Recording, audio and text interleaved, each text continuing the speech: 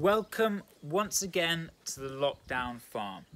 We are here in Spain on the quarantine during the coronavirus outbreak. And what we're going to be doing today is looking at the best exercises for your low back during this period of time. Now, one of the big things is that you may or you may not be moving around as much. You're not going to work, your general daily activity activities being restricted, and that means you're probably sitting more.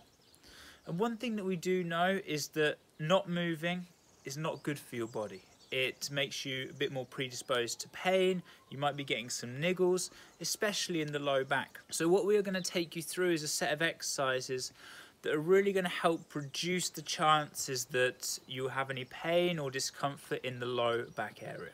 So one of the most important aspects we're going to be looking at is maintaining all of the ranges of motion that we have available in our low back. These really are flexion, an extension, rotation, side bending, and also one more that you may not be so familiar with, but this is called traction. And traction can be a really nice way just to relieve any symptoms that you may have in the low back. So we're going to take you through an exercise for each of those directions. Jacqueline's going to be leading the way and we're going to hopefully get your back moving and you guys feeling better during this period. So the first exercise we're going to do, you guys may have heard of before, it's called a Jefferson curl. And what we're working on here is the flexion. You can see that Jacqueline's just picked up a rock. This can be a book. It doesn't even have to be any object. You can just do the movement completely free. So what happens is Jacqueline's going to start at her neck. She's then gently going to flex each vertebral segment. The legs, what's important is the legs stay straight and she just goes down as far as she feels comfortable. She's going to hold it there for a few seconds and what you see is the low back's flexed. Now when she comes back up, she keeps the legs straight and just reverses the process. If you want to imagine, imagine we have our vertebra here and all we're doing is trying to open out each vertebra into flexion. This is really going to help with the range of motion through the, through the low back. So this is our exercise number one. It's called our Jefferson curl. You got company. Yeah. This next exercise focuses on extension of the low back. And it's a very common yoga pose, often called downward dog. Luckily we had Tom here, which was uh, a nice coincidence. but this one we're going to do on the floor. Obviously you can put a mat down if you want to feel a bit more comfortable. But the focus here is Jacqueline's going to come down. She comes through a push-up position.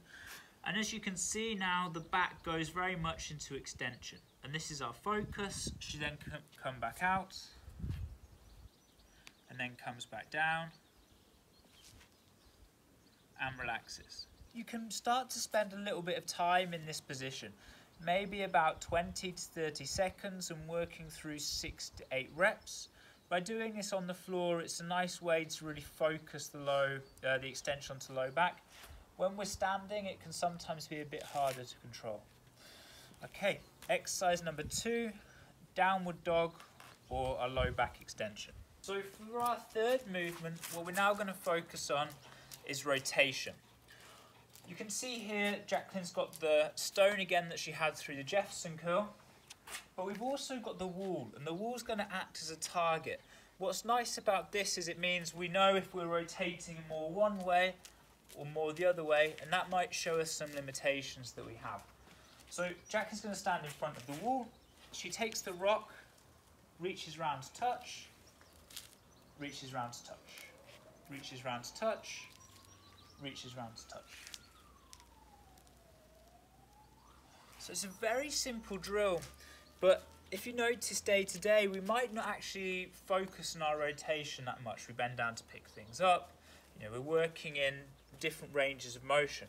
So just having a little focus of this, where we really rotate, really stretch round, we get the hips working as well. And with this exercise, you can work a lot more repetitions than the first two. You may even build up to 30 to 50 reps um, on both sides, and that's just going to help to free up the back as we go through. As we come into exercise number four, we start to look at our side bending. And we're going to uh, combine this movement with a lunge now. The reason we combine it with a lunge, it just allows us to focus a little bit more on each side. And we're going to do two hand positions for this. So the first part is Jacqueline lunges forward in a very normal way. And then she's going to focus on tilting her hip out to the side. She's then going to come back onto the other side. And again, she pushes towards the leg that is forward. She's going to come back. She's going to push towards the leg that is forward. And then come back. And just once more. Now, with this exercise, what can actually be uh, quite easy to do is people lunge, uh, just lunge forward, and they actually rotate as they side bend. But we're going to try and isolate the side bending here. So it's important that you're almost following a line as you push out. You're then going to come back. You're going to push out following that line, trying to avoid rotation now. We're also just going to put the hands in the air as well. And this just helps to give a little bit more low, uh, stretch to our low back.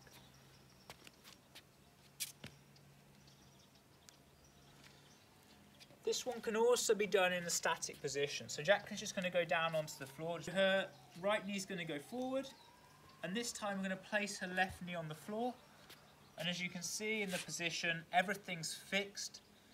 And it makes it easier to isolate the side bending here. And then she can swap through onto the other side as well. So in the same way as our rotation, we can work a lot more repetitions here than the first two exercises. Again, you might do 30 to 50 each side. It's not a very taxing movement, but with that high repetition, you start to get feeling more comfortable with the, with the actual movement, and also it helps the muscles to move, the joints to keep articulating. So that's exercise number four, where we're focusing on side bending. So now we're coming on to our fifth exercise, and this is traction of the low back. And in essence, what we're trying to do is just get a separation of the joints, like pulling apart. And a lot of people feel relief in this exercise in the low back or depending on the joint that you're focused on. So, as I said, we're in quarantine. We built our own rig, which we've called Zeus. So, luckily enough, we do have something to hang from. But really, this can be anything. This can be a door frame. It's just something that allows you to gain that traction of the low back. We're going to show you another variation that can also help traction with a band, but hanging is the, the best option. We'll look at the second best if you don't have this available. So very simply what Jacqueline's going to do is take hold of the bar and she lets her body weight hang. And what she can now also do in that position is she can actually work flexion, extension. So the first two exercises we looked at. She can then also work rotation and she can also work side bending going from side to side. So it's kind of a combination of the, the first four exercises but from a, in a traction position and just relax. And obviously the amount of time that you're in this position is dictated by how long you can hang on the bar. This isn't about working your grip strength, it's more about targeting the low back. So maybe two to three sets of 20 to 30 seconds hang, either just letting the hips relax or adding in those ranges of motion with the traction in place. Yeah, so that's exercise number five. What we're also going to do, for those of you who don't have a hanging option available, we're also going to look at how you can do this with a band. This is a variation of our traction, and what we're going to do now is use a band. The reason we use the band is it acts as that um, point of contact between one vertebra and the other to help pull them apart slightly. So we fix the band around the low back. Jacqueline's then going to have a lie onto the floor. And as you can see, she's folded the band. One's going to go around one knee. One's going to go around the other. And then just as she lies down, you can see that the bands come under tension. That tension is going to help separate the vertebra, giving us the traction. And also in this position, she can start to play about with the rotation from side to side. And she can also adjust the tension a little bit with her knees. So this is a way to get traction in the low back if you aren't comfortable with hanging or you don't have anywhere to hang. You can just use the band and it gives it that same same sensation. So exercise exercise number five, part B, traction for the low back. So all of these exercises can be done without equipment and can be done in your house. What we would recommend is that you go through this set of exercises two to three times a day, especially if you find yourself sitting more than usual.